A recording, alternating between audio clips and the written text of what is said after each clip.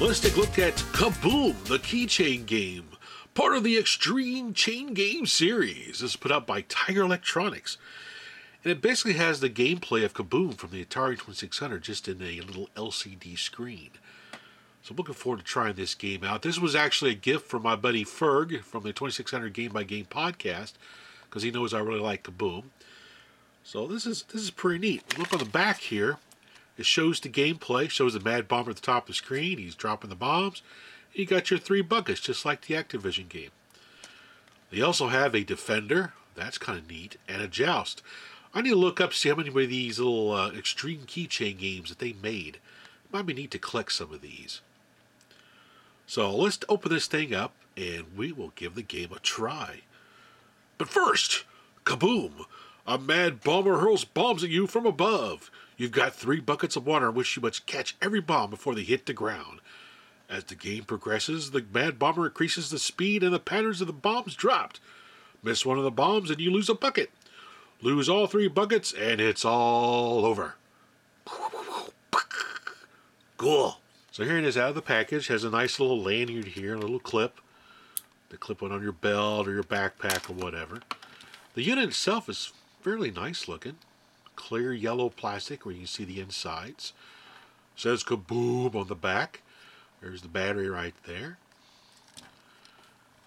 Screen don't look too bad. Got pretty simple controls here. We have on, got sound on and off, left and right. We have sound on, turn the game on.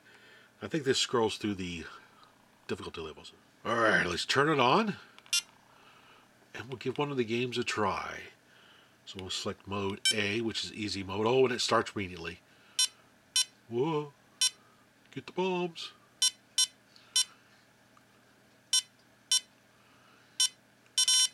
Yes! We'll do B. It's a little faster. And he throws more bombs. I think Tiger did a good job of translating this game to a little LCD uh, portable handheld here. This is not bad at all.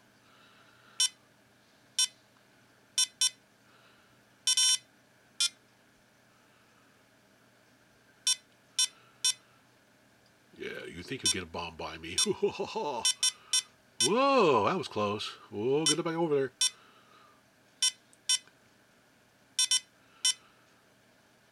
So let's go ahead and miss a bomb. You can see what happens. So I miss a bomb, bonk, and I lose my lowest little uh, bucket there. So now I got three, I got two buckets left. Beep, beep, beep. My, get my, oh no. Oh, man. You're supposed to hit the button, dummy. One bucket left.